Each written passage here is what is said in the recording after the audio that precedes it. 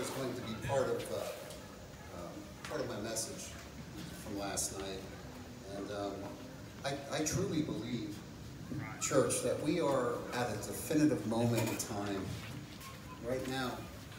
Each one of us, we are at a definitive moment in time. God alone knew when He would place us into our life timeline. We were chosen for a time such as this. And so, this is a definitive moment. And um, the Lord is the strength of our life. Our lives, our old self has been nailed to the cross, and it's Christ's life that now lives in each one of us. Each one of us. The life that we're living is Christ's life. Without God, nothing is possible, really. But with God, all things are possible, and we belong to Him. To Him. We are His children, we are His worshipers. We love Him, we exalt His name. He even calls us friends. He has placed us into this timeline, in this world, at this time. And I believe this is, this is the time right now, right now, where it is time to stand on His word more than ever before surrender our hearts daily, daily to Him, and say, Lord, use us, use each one of us in the community. Use each one of us, because really, all these, the nation, the community, the families, it's all, it's all intricately involved with each other. And so this has to start within each one of us. We already mentioned this. Revival has to start within us first. It's not just something that's going to, has to start within each one of our hearts first. Lord, lead us to a place where our hearts are ready to be used for revival. Because when we are at that place, then true change can change in our house, in our families, in our communities, in how we interact with people, how we conduct business, how we shine Christ's love everywhere that we're given opportunity to do that. This is a time to love, not to shrink away from love. This is a time to love and stand on God's truth, His everlasting truth and promises. Each one of us have been blessed with each and every spiritual blessing. We have the Holy Spirit that is within us, that is with us all the time. That Holy Spirit that hovered above the waters in creation, He is with us. If we are walking in His will, surrender to Him, humbly to Him, there is nothing that we cannot accomplish in Him, in Christ Jesus. So, honestly, I'm going to read a little bit from last night. If honestly we look at our nation 20 years later, I had read a message from Billy, Reverend Billy Graham. He had delivered three days later at the cathedral in Washington. Um, and so we read that message, and then um, there were some thoughts placed on my heart. Uh, it's such a stark measure. Um, at that time, like Kevin had said, and each one of you here, uh, if you weren't old enough to, to witness it, you've heard about it, but there was something that happened that was palpable.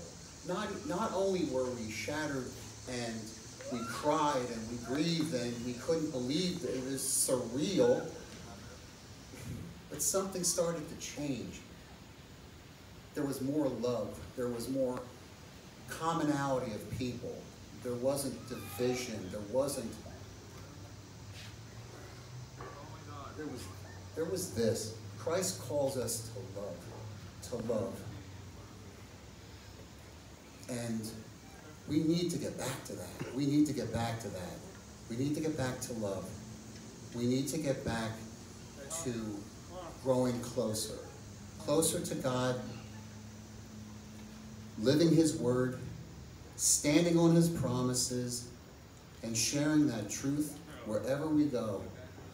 His light that shines from us is a beacon. Is a beacon. And a house built on a hill with that light cannot be hidden. Lord, use, use us. Use each and every one of us and our friends and our families. Lord, use us to be part of that. the enemy of our souls, has penetrated every facet of government, leadership, young people's education, media, news, distancing the commonality of people in general, the perpetuation of false information, dissension, worldly wisdom, worldly values, immorality of every kind. We need a move. But we serve a God that moves. Amen. Our God moves. Our God is able. Our God is able to do more than each one of us could ever dream, could ever think, could ever imagine. He is a God that is able. And that is the kind of God that we serve.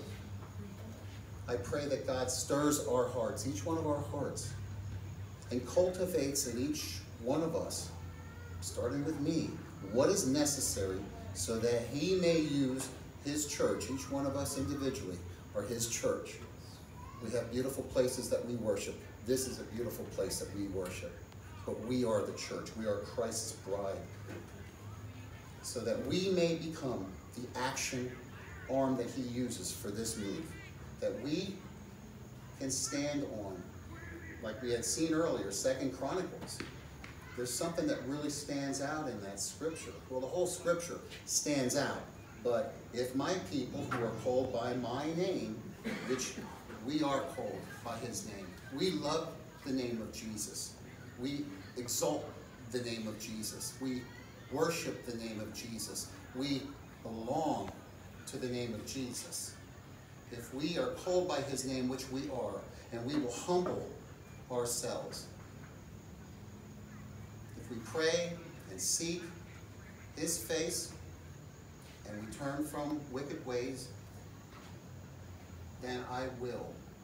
Not maybe, I'll think about, I will, I will hear from heaven, and I will forgive their sin and will heal their land. I ask, awaken, Lord, your sleeping giant, your sleeping giant, which is the church, your bride here on earth. Yes, there's so many different denominations, but there is one core value. It's God the Father, God the Son, God the Holy Spirit, the truth of the Word of God. And by that, unite us. Unite us. Use us as your action arm in our families, within our communities, and ultimately that that would spread through so that godly appointments, godly people, godly legislation, godly ways, God prayers back in school. Just things can turn around, but we have to stand we have to stand on God's promises and, and humble ourselves before Him. We have been blessed with every spiritual blessing. You have given us the keys to the kingdom. We have the authority to bind and to loose. The authority to use your holy name. We have been we have the authority to use that name of Jesus, that name that is above every name. Jesus Christ is the rock upon which we must build our foundation. The Lord referred to himself as the stone of Israel and emphatically stated that he that buildeth upon this rock, the cornerstone, shall never, shall never fail. Lord, my prayer is that each one of us here today, that you would not only in our lives, but in the lives of our families, in the lives of our friends, and in the lives of their loved ones, Lord, draw our hearts each and ever closer to you Allow us to stand closer and closer to your truths. Lord, allow us to be used as you so decide to use us in our families and our communities. And Lord, we know that with you all things are possible and that things can turn around. We know that because you have promised us that you will hear us if we call upon you and we turn from these ways. You will hear us and you will heal our land. And you have said at the end of that, you will heal our land. You are the God of healing.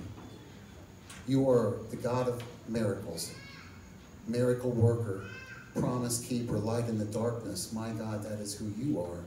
We love you. We exalt your name. We know that this is, this is the time where real change can start. Let us be the change first, and, and then use us.